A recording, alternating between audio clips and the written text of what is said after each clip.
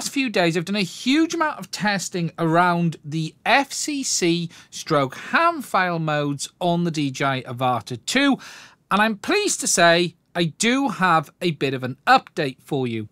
Now, I did have an initial video where I walked you through the current situation with the Avata 2, and that was the only way to get into FCC mode was to use an app such as Drone Tweaks, and now we have Drone Hacks as well. Whilst that is technically still correct, there are some things we now know that are quite different to before, but also work very differently to what we had on the DJI original Avata and the DJI O3 system. What I can tell you though today, I'm pleased to be able to share there is a way to be able to get more RF power from this system for free. You don't need to purchase any apps, but there isn't everything for everyone here, and this one is going to take a little bit of explaining. This video is sponsored by Grey Arrows Drone Club, the team behind Drone Scene, which is a map of places to fly in the UK. They've got a really busy discussion forum. They offer regular competitions and prize draws with thousands of pounds worth of prizes available. And they also offer up to £5 million public liability insurance as part of their membership. They are also going to be doing some giveaways on the DJI Avata 2 as well. And if you're interested in checking them out, there will be a link to their discussion forum in the description. Okay, so just to explain where things have been in the past, with the release of the original DJI FPV system, there was a file called NACO that pushed it into FCC mode for CE users, and a file called NACO underscore power that would push it into 1200 milliwatts mode. Then we had the FPV drone, the Avata and O3, and for those systems, NACO didn't work properly, but we had the ham file. That pushed the system into FCC mode and for CE users increased the RF power, made manual channel selection available and actually for FCC users allowed them to select more channels than they would be able to select in normal FCC mode. With the release of the Avata 2, there was a lot of questions around does the ham file still work? And it was my initial findings that it didn't do what it did before, and the assumption was that it didn't work at all. There were people saying it was working. There was feedback coming to me from various places saying they've been told it should work, but the basics were, in my tests and many other people's tests, the ham file did not unlock the channels, did not appear to do what it did before for CE users. What was rather interesting, though, was the fact that we knew the ham file was working because in FCC regions on the Avata 2, it was still allowing them to get more channels than it was as standard. So, for instance, in 50 and 60 megahertz mode, it would allow it to actually have three channels rather than the one. So, we knew the ham file was doing something. However, it didn't appear to be doing anything in CE regions. Now, after that, I spent a lot of time doing some testing and it was found that the FCC mod apps from the likes of Drone Tweaks and later Drone Hacks did push the Avata 2 into FCC mode, and in fact, it did remain persistent, and when used with the ham file, not only remained persistent, but also gave you the additional channels as well. Now, over the last few days, there's been a lot of reports of people saying the ham file is unlocking the speed in EU regions. There's been people saying it's been doing all sorts of other things. So I've spent a huge amount of time digging into the RF behavior of the Avata 2, and I have learned an incredible amount, including the fact that actually the ham file is working, it's just not working in the way we expected. Now, the first thing to understand with the ham file in CE regions on the Avata 2 is that it is not opening up the manual channel selection. You will find that the auto channel selection is grayed out and you have no option to push it into manual channel modes and this remains the same no matter if you use the ham file or not. Today, the only way I know to be able to give you manual channel selection on the Avata 2 is to use one of the hacked apps such as Drone Tweaks or Drone Hacks that will push it into FCC mode via the DJI Fly app. But what I can tell you is the ham file does actually increase the RF output on the DJI Avata even in CE regions, even though it is not unlocking the additional channels. I have triple checked this and I can confirm that the ham file on the SD card of the goggles will open up additional RF power and basically push it into the FCC RF power mode. What is interesting though is that it isn't actually the FCC RF power mode, it is an increased RF power output because in FCC regions the DJI Avata 2 only works in either 2.4 or 5.8 gigs. In CE regions though, the Avata 2 will work in 2.4, 5.2 and 5.8 gigs. And when the drone is in CE mode, we regularly see it jump into that 5.2 gigahertz band. However, when it is in FCC mode, either officially or via one of the Drone Tweaks Drone Hacks apps, it again only stays between 2.4 and 5.8. What is rather interesting about the ham file is that it is increasing the output that what appears to match the FCC output, but it still has the option of going into 2.4, 5.2 or 5.8 gigahertz. The only modes that appear to be affected though by the RF output increase is 5.8. The 5.2 gigahertz mode has a fixed RF level. It isn't available in FCC, so it doesn't appear to increase in CE with the ham file. However, I can absolutely say that the 5.8 gig mode definitely increases to the FCC style level when comparing it to the levels that you get via the hacked apps.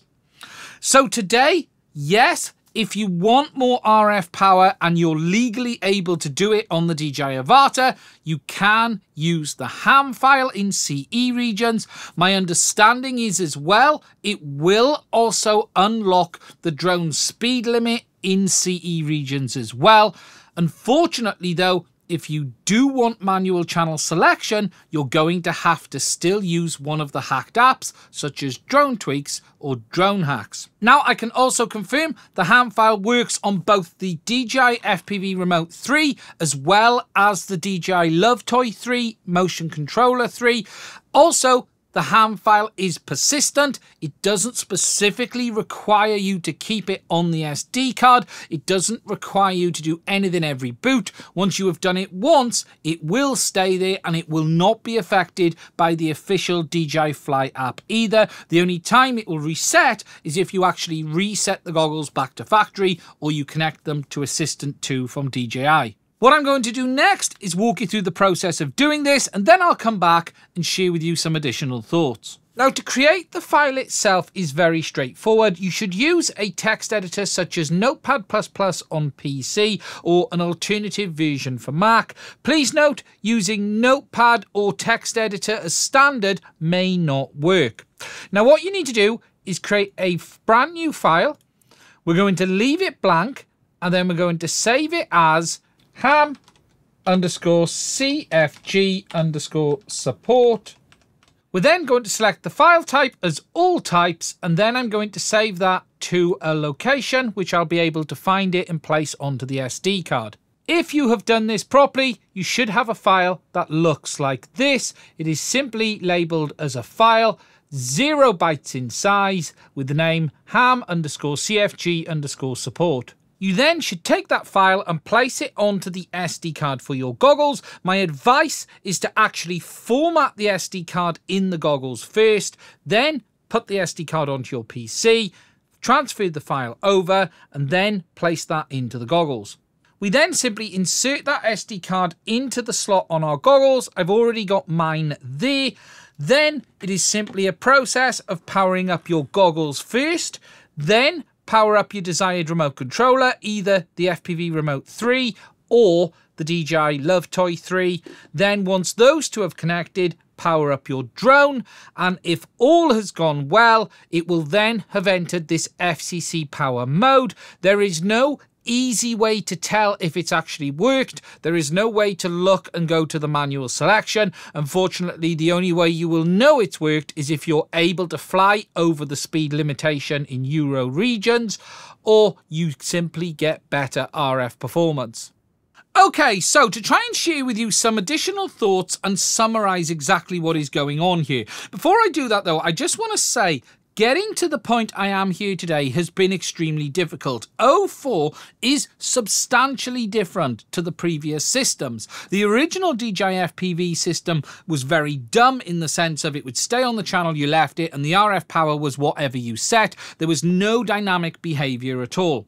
We then saw O3 where there was definitely a big step change. It was dynamic with regards to its channel selection in auto and there was a small amount of change in RF behavior depending depending on the signal, but that is nothing like what I'm now seeing here on O4. In fact, the only way to get the O4 system to really show you its maximum RF output is almost forcing it to the point of signal loss. To do the testing I've done, I ended up having to fix the aircraft here in the workshop with the spectrum analyzer and then have the goggles and the remote go wandering and monitor its behavior as the signal drops off. And then I was able to see the difference and the limits between CC E mode, FCC and HAM.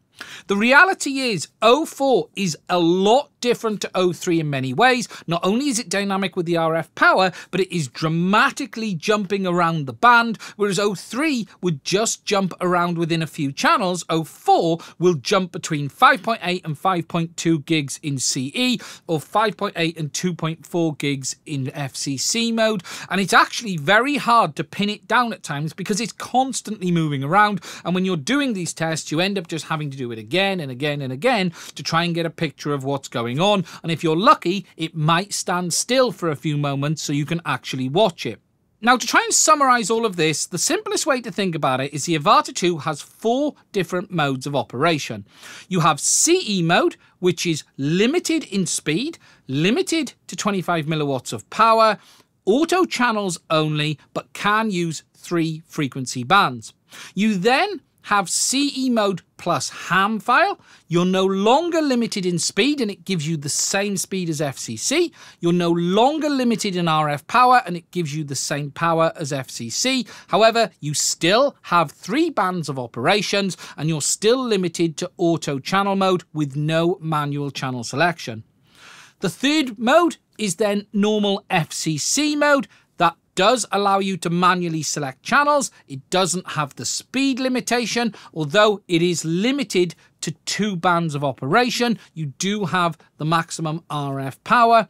And the final mode is the fourth one, which is FCC plus ham. It is exactly the same as FCC, apart from the fact it gives you additional channels in manual mode. So in 50 megahertz carrier mode, you will get three channels instead of one, and 20 and 10 megahertz carrier modes, you will get seven channels instead of three. One last little thing I just want to throw on this, and I will be covering this in a future video, is in all of my testing, regardless of ham file or FCC mode, the goggles RF output doesn't appear to change. But again, that could also be a lot more dynamic than I was expecting. I'm doing a lot more testing on that, and I'll be talking about that in my future O4 video.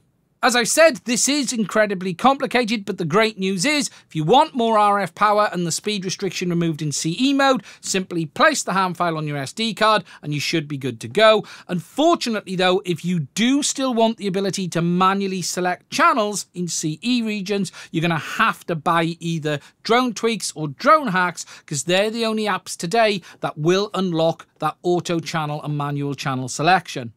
Now, I really hope you have found this interesting. I'm going to have a much deeper dive into the RF behavior of O4 and the Avata 2 coming in the future. And if you're interested in seeing that, please do make sure you are subscribed to the channel. If you'd like to support us to allow us to keep making content like this, please do consider checking out the links to my Patreon as well as buy me a coffee. It is only through the support of my patrons I'm able to keep making content on this channel. And if you'd like to support us to allow us to make more in the future, please do consider checking it out. I want to say a huge thank you to all of my Patreons. We would not be able to do this without your support. Now, if you have any questions, put it down below. Stay safe. I will speak to you soon.